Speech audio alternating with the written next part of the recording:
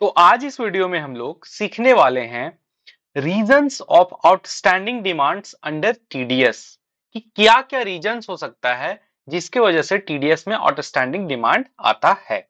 तो चलिए हम लोग शुरू करते हैं। आउटस्टैंडिंग डिमांड क्यों आता है? तो देखिए, यहाँ पे जो रीजंस हो सकता है आपके सामने, वो मल्टीपल रीजंस हो सकते हैं, जिसमें से सबसे पहला रीजन है शॉर्ट डिडक्शन का। हाँ आपके सामने जो आउटस्टैंडिंग डिमांड आएगा, उसमें रीजन रहेगा शॉर्ट डिडक्शन अब ये शॉर्ट डिडक्शन किन किन वजहों से आएगा, ये चीज़ हम लोग समझते हैं। तो उसके अंदर सबसे फ़र्स्ट जो है वो due to invalid PAN entered इसका मतलब क्या हुआ? कि अगर आप जब आप रिटर्न फ़ाइल कर रहे हैं आइदर वो 24 क्यू हो 26 क्यू हो 27 क्यू हो 27 क्यू अगर आप इनवैलिड पैन एंटर कर दिए इनवैलिड पैन कहने का क्या मतलब है? कि वो पैन वैलिड एंड ऑपरेटिव नहीं है। आप उसको चेक कहाँ से कर सकते हैं? तो आप उसको, आप ट्रेसिस के पोर्टल से जाके पैन वेरीफाई कर सकते हैं। तो वहाँ से आप चेक कर सकते हैं। अगर आप इनवैलिड पैन या फिर इनऑपरेटिव पैन आप एंटर कर दिए और रिटर्न फ़ाइल कर दिए तो उस केस में क्या होगा? उस केस में शॉर्ट डिडक्शन का डिमांड आ जाएगा। कैसे आएगा ये समझते हैं हम लोग। लेट सपोज़ हम लोग किसी शख्स का, किसी पर्सन का कमीशन पे टीडीएस डिडक्ट किए फाइव परसेंट के रेट से। अब उसका जो हम लोग पैन डालें पैन एंटर किए, वो पैन गलत था इनवैलिड था इनऑपरेटिव था। अब उस केस में क्या होगा?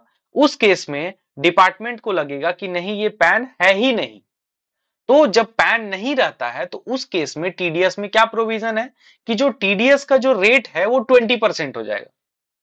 तो उस केस में क्या करेगा? आपका जो शॉर्ट डिडक्शन का डिमांड आएगा वो इस तरीके से आएगा कि अब, उस समय मान लेगा कि आपको 20 परसेंट डिडक्ट करना था आप सिर्फ़ 5 परसेंट डिडक्ट किए हैं। तो जो 5 परसेंट अब जो 15 परसेंट रेस्ट हो गया अब 15 परसेंट का शॉर्ट डिडक्शन का आपका डिमांड आ जाएगा तो इस तरीके से। नेक्स्ट है due to wrong rate chosen.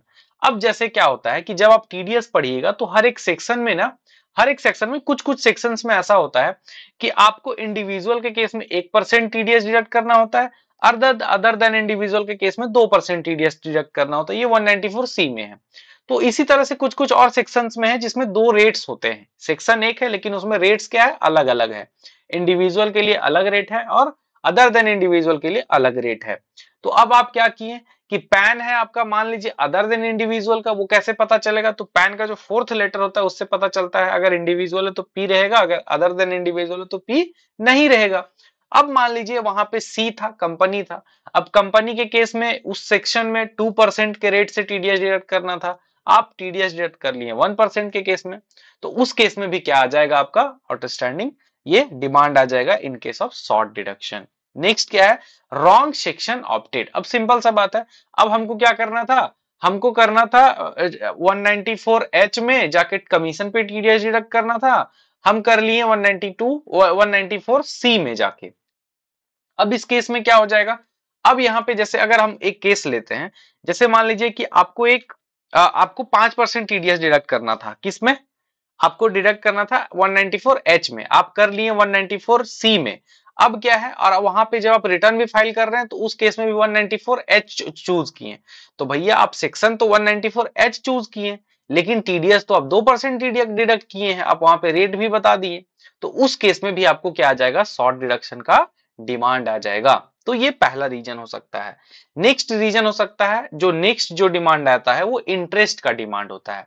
तो इंटरेस्ट में भी मल्टीपल पॉइंट्स हैं। किस किस केस में क्या क्या इंटरेस्ट मतलब किस तरह का इंटरेस्ट का डिमांड आ सकता है? तो सबसे पहला है interest on late payment of TDS है ना? Interest on late payment of TDS interest on late payment of TDS का मतलब क्या होता है? हम लोग को अच्छी तरीके से पता है कि जो टीडीएस का पेमेंट का जो ड्यू डेट होता है, वो किसी भी महीने, जैसे मान लीजिए अप्रैल है तो अप्रैल का जो ड्यू डेट होगा, वो सेवंथ ऑफ़ मे होगा।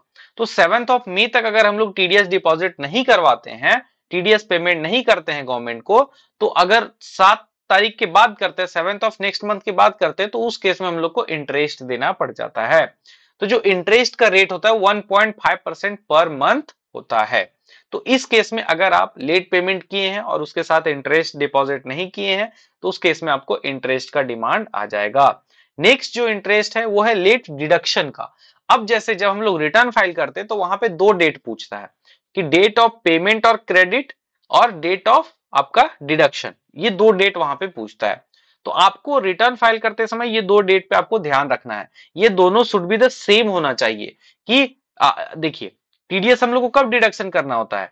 पेमेंट और credit whichever is earlier तो मान लीजिए पेमेंट और credit whichever is earlier एक स्पेसिफिक मान लीजिए फिफ्थ फिफ्थ ऑफ़ डेट मतलब पाँच तारीख को है।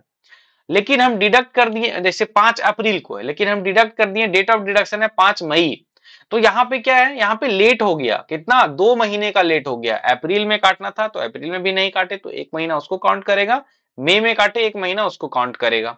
तो ये जो लेट डिडक्शन है इसलिए जब भी आप रिटर्न फ़ाइल करें तो ध्यान दें कि जो डेट ऑफ़ पेमेंट और क्रेडिट और डेट ऑफ़ डिडक्शन का डेट जो है वो मोस्ट uh, प्रोबेबली आपको सेम होना चाहिए। तब जाके आपका ये डिमांड नहीं आएगा। ठीक है? और ये इस केस में डिमांड आ सकता है। Interest on late payment of outstanding demand अब देखिए, मान लीजिए किसी केस में क्या होता है, आपका आउटस्टैंडिंग डिमांड आ गया इधर वो शॉर्ट डिडक्शन हो इंटरेस्ट हो लेट फ़ीस हो लेट अब आप क्या कर रहे हैं, उस डिमांड का आप ना ही करेक्ट कर रहे हैं और ना ही पेमेंट कर रहे हैं। तो जब आप लेट से पेमेंट करिएगा तो उस केस में जो डिमांड अमाउंट है ना, जो आउटस्टैंडिंग डिमांड है, उस पर भी इंटरेस्ट लगाएगा गवर्नमेंट तो उस केस में भी वो चीज़ आ सकता है। नेक्स्ट है इंटरेस्ट ऑन शॉर्ट डिडक्शन पे भी आपको क्या है डिमांड आ सकता है। नेक्स्ट रीजन हम लोग देखते हैं वो है लेट फ़ीस का, ठीक है? लेट फ़ीस क्या होता है? तो जो हम लोग जानते हैं कि जो टीडीएस का रिटर्न होता है, वो क्वार्टरली फ़ाइल होता है। क्वार्टरली कहने का क्या मतलब है? कि आपका जैसे अप्रैल, मई, जून, एक क्वार्टर खत्म हुआ तो एक क्वार्टर खत्म होने के जस्ट एक महीना तक टाइम मिलता है कि भैया April, May, June thirty first of July तक आप क्वार्टर वन का आप रिटर्न फ़ाइल कर दीजिए। लेकिन क्या होता है? बहुत लोग थर्टी फ़र्स्ट ऑफ़ जुलाई तक भी रिटर्न फ़ाइल नहीं करते हैं। जब रिटर्न फ़ाइल नहीं करते हैं उस समय तक तो उस केस में क्या होता है कि अगर थर्टी जुलाई तक नहीं किए तो अगर एक को किए, एक अगस्त को किए, दो अगस्त को किए तो उस केस में आपका जो है वो डिमांड आना स्टार्ट हो जाएगा उस केस में आपको लेट फ़ीस लगना स्टार्ट हो जाएगा, जो कि दो सौ रुपया पर डे होगा। अगर आप उसका पेमेंट चलान जमा करते समय अगर आप पहले ही नहीं कर दिए हैं तो उस केस में भी डिमांड आपका आ सकता है। तो ये सारा डिमांड आपको कहाँ पे दिखेगा? ये आपको ट्रेसिस पोर्टल पे दिखेगा। अब ये सारे इन सभी का सॉल्यूशन क्या है? तो देखिए कुछ कुछ केस है जिसमें आपको रिटर्न रिवाइज करना पड़ेगा। रिटर्न रिवाइज करना पड़ेगा। जैसे अगर आप इनवैलिड पैन डाल दिए हैं तो अब आपको वैलिड पैन डालना पड़ेगा। तो ये ऑटोमेटिक होगा कि आपका जैसे आप रिटर्न रिवाइज करेंगे और उस केस में आप सही पैन नंबर डालिएगा तो वो जो डिमांड होगा वो आपका ऑटोमेटिक हट जाएगा। तो इस केस में आपको क्या करना पड़ेगा? इस केस में आपको जाकर रिटर्न रिवाइज करना पड़ेगा। रॉन्ग रेट चूज़ कर लिए हैं, ठीक है? तो उस केस में भी आपको रिटर्न रिवाइज करना है। रॉन्ग सेक्शन ऑप्ट हो गया है तो उस केस में भी आपको रिटर्न रिवाइज करना पड़ेगा। तो आखिर हमको पता कैसे चलेगा? क्योंकि डिमांड तो सिर्फ़ पता चलेगा शॉर्ट डिडक्शन में ये है और इतना डिमांड है। तो वो तो हम ट्रेसेस से जाके जस्टिफिकेशन रिपोर्ट डाउनलोड करेंगे, वहाँ से हमको इशू पता चल जाएगा और रिटर्न रिवाइज करने के लिए वहीं से कौन सो फ़ाइल डाउनलोड करेंगे और फिर से रिटर्न रिवाइज कर देंगे। ठीक है? नेक्स्ट ये सब जो अगर इंटरेस्ट है, जब आप जान रहे कि हाँ इंटरेस्ट सही है तो सिंपल सा आपको क्या करना है? जो आउटस्टैंडिंग डिमांड है, उसको इंटरेस्ट का हेड में जाके आप उसको पेमेंट कर दीजिए इनकम टैक्स पोर्टल से। और नेक्स्ट आपको क्या करिए? वो एक दिन लगता है आपका ट्रेसेस पे फेच होने में वो चलान। वो चलान से आप ट्रेसेस पे ही ट्रेसेस से ही उसको क्या कर सकते हैं? आप करेक्ट कर सकते हैं। एक चीज़ ध्यान रखिएगा कि ट्रेसेस से जो है पैन जो है, वो चेंज नहीं हो सकता है। आपको रिटर्न रिवाइज करना पड़ेगा। तो इस तरीके से जाके अगर लेट फ़ीस है तो लेट फ़ीस का चालान जमा करिए और ट्रेसेस के पोर्टल से ही उसको क्या करिए आप एडजस्ट कर सकते हैं। तो these are the things which you which you have to keep in your mind तो थैंक यू सो मच